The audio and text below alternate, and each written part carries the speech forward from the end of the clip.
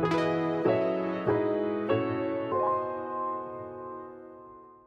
everybody, it's Jonathan Reeves here with another Twinmotion 2022 video and I've got some great news. The channel's been going really well lately. We've had a big growth and I'm on track for 10,500 subscribers by the end of this month.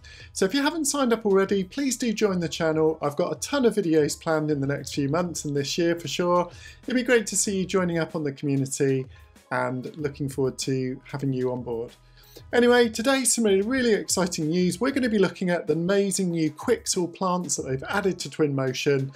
And this means that Twinmotion really truly is uh, the number one product for 3D visualization, I would say, for landscape and garden design. So I'm going to demonstrate that for you today with the new lovely assets.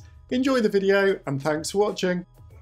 Hi everybody, Jonathan Reeves here with another Twinmotion 2022.1 tutorial and today we're going to be looking at the new Quixel assets and plants that you can use in your projects to make them look really amazing and sort of really enhance your projects for landscape and garden design. Now you can see at the moment I'm running on a project that was an eco home I designed a little while back and I've done a few other tutorials for before so I'm just using this as a kind of little background. We've got some nice images that I want to show you how to create. So we'll talk about creating plans and sections elevations as well.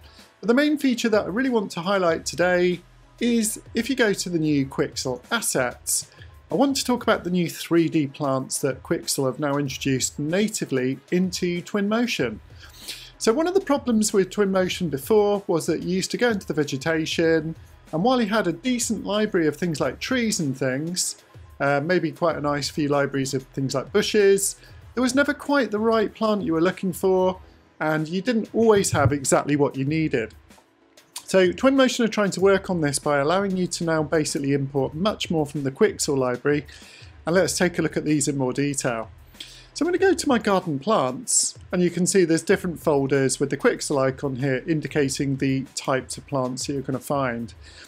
Now, the very first thing you're going to need to do, if you've already not downloaded it, is basically to click, and you'll see a little icon in the window here. Now, this clearly is one that I've actually downloaded already, so that's fine. And basically what I can do is, if I want to, I can drag in the entire, shall we say, catalogue of those plants. So let's drag the entire catalogue in, and just let that process and then I'll just click F to fit to it. Tell you what we'll do, we'll put it onto the patio just for now, just so you can kind of see it in a bit more detail. So you'll notice that the plants are very, very um, high quality assets. They're really, really nice looking. Got a bit of depth of field on at the moment, so you can see that depth of field kicking in when I go a bit closer to them. But they look really, really great. Now, if you do click onto the plant here, you'll notice that you can also get what they call variations. Okay, so the variations are something that where you can actually select the individual plant and now basically just sort of place away quite rapidly and place a few of those in your project. So I really like this new feature for the variations.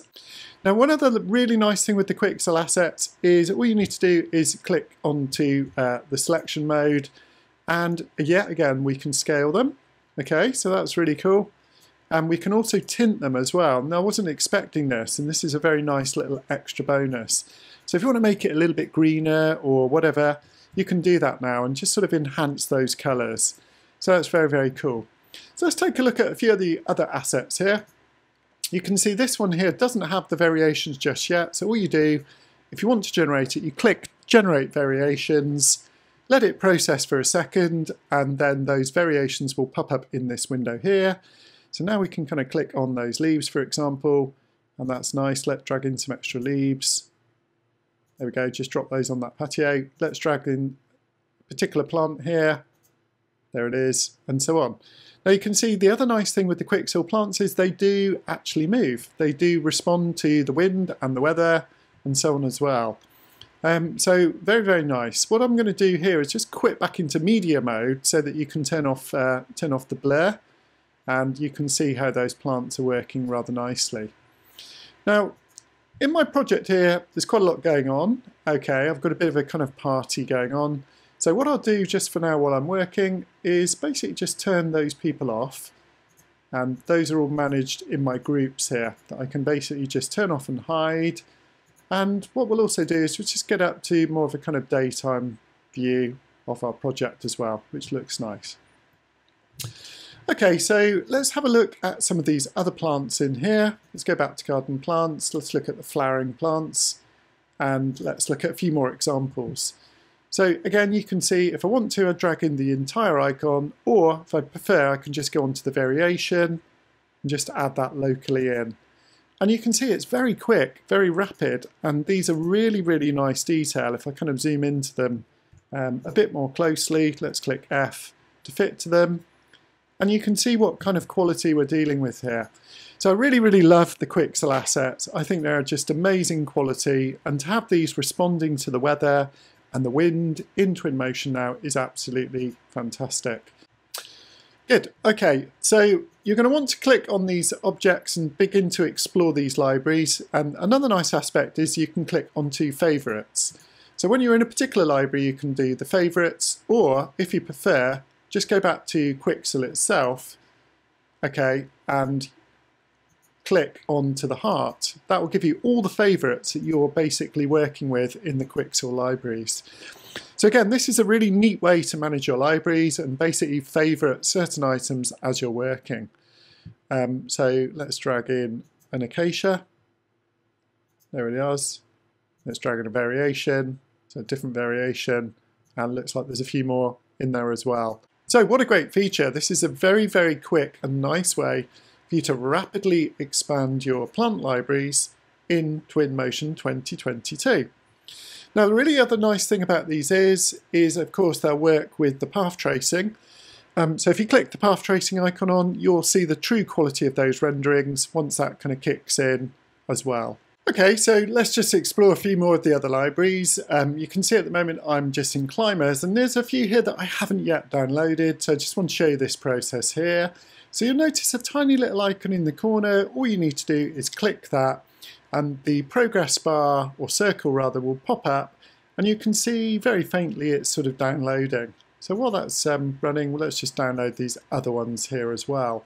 Now you'll notice that once it is downloaded, then as I say, you can quickly create the variations. Um, what it will do is just process the data, again, connect to the cloud just to import those individual variations. Those are still downloading, but there we go.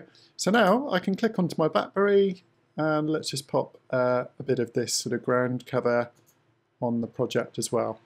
So we'll have a nice little kind of lush area of planting over here. Let's get a few different types. And of course, there's nothing to stop you selecting two or three. And then as you know with Twinmotion, every time you click, you're going to get a different variation selected randomly from those three with a different size as well.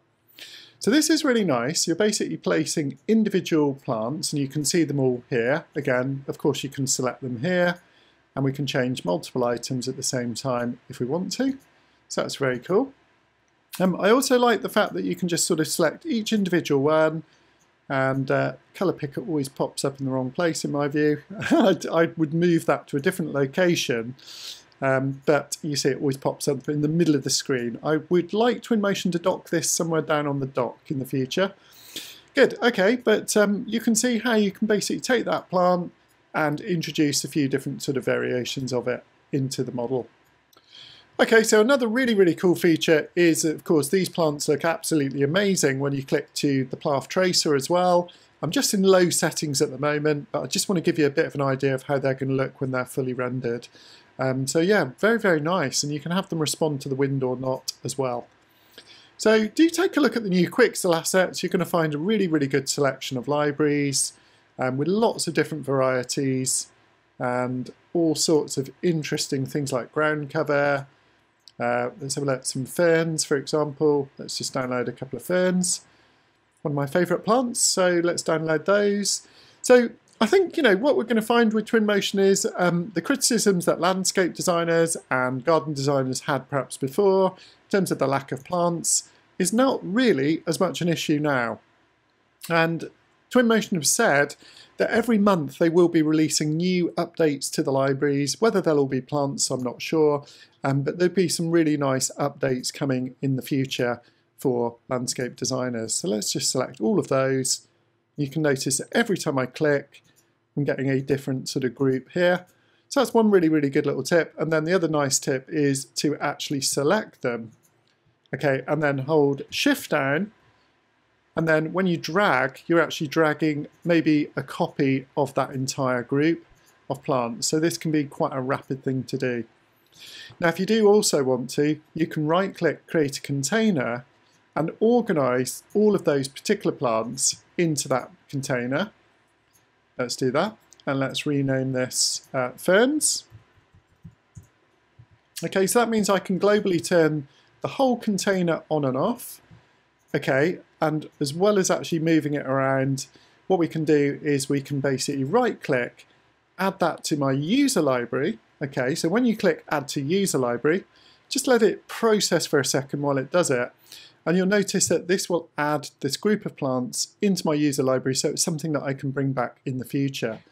Okay, so another quick thing I just wanted to talk about with regard to the Quixel assets is the new decals. Um, so if we go back to Quixel, you'll notice as well as the new 3D plants, um, we've also got some enhanced decals.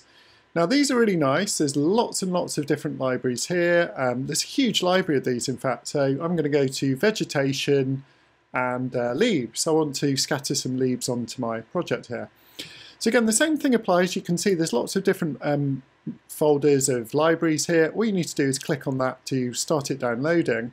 But here's a couple of that I've downloaded already. So I'm going to select this one and drag it into the drawing. Just let it process and load in for a second. And the first time you actually load it, it always takes a bit longer. And there we can see, you know, some really nice libraries of assets, uh, those sort of leaves scattered. So I really like this. I think this is so cool. I'm going to go back into Quixel Megascans and decals. I'm going to click my favorites because I've already added a few different favorites in here that I can now bring into my project. Let's load in another one. And you can see, you know, this just takes away those sort of perfect images, just gives you a little bit more kind of perfection. Um, okay, so I just want to move on to one more thing. Um, I just want to show you a couple of things here. So here I've got a really nice view. Now do remember, of course, we can use the path tracer at any time just to render that view with a lot more realism and better lighting, reflections and so on. So what I'm going to do is basically go up to my views and I just want to remind you, like I did in my last video, how we can actually render things like site plans. So as long as we have the path tracing turned on, um, we can move around and sort of frame up our view. And when we're ready, we just click onto the path tracing button to get a really, really lovely proper site plan. Now look at that, the quality of the rendering, absolutely glorious. Um, what I'll do, I thought I'll zoom in a bit. Now I do find that when I'm working, I often want to turn this off. Now let's sort of frame up this new little area here where I was doing a bit of planting here. And let's show you that with the path tracing turned on. So you can see the quality of the lighting, the quality of the renderings and things like the shadows look absolutely fantastic. And if that's the view that you'd like to store for the client, you just need to create the image for that particular view. So very, very straightforward and easy to do. And that's all you need to do there. Okay, so you can see I've actually got a couple of saved views in the project already. Uh, this makes a particularly nice sort of rendered site plan here, which I'll render out at final quality in a bit. I've also got a section through the building and if you watch my previous videos on this, you'll notice that this is where I simply adjusted the clipping plane. Okay, so I might just want to take the more and go to lighting. And I often find for things like sections, you just want to boost up the ambient lighting quite a bit, just so you kind of get these nice uh, lighter bits within the project there. So that makes quite a big difference. Just let that render out for a second. That's really, really nice the way it refines. And it's not, not really until it denoises at the end and sort of finishes the rendering uh, that you can really sort of tell the final quality. There we go. It sort of cleans it up very nicely. So that's a really, really nice little drawing. Um, finally, I've also got things like elevations, and all I've done here is just kind of take the clipping plane and bring it a bit more in front of the building, um, so you can kind of actually see the full building itself. So don't forget to use these uh, plan views and if you're a Mac user I've shown you how to achieve very similar things for things like sections as well. But really that combined with the new path tracing function it's going to give you absolutely beautiful renderings and animations. Uh, but what we're really interested today is the new Quixel assets. So again, when you're working, just turn that one off if I were you. and just sort of make sure that you explore not only the assets and the materials, but actually these new ones, the 3D plants, and all the variations within those as well. So what a fantastic asset and addition to the Twinmotion libraries. Really looking forward to using this all on my projects and I'm sure you will be too. So thanks for watching everybody. I really hope to see you in the next project and look forward to you subscribing. Thanks for watching. Bye bye.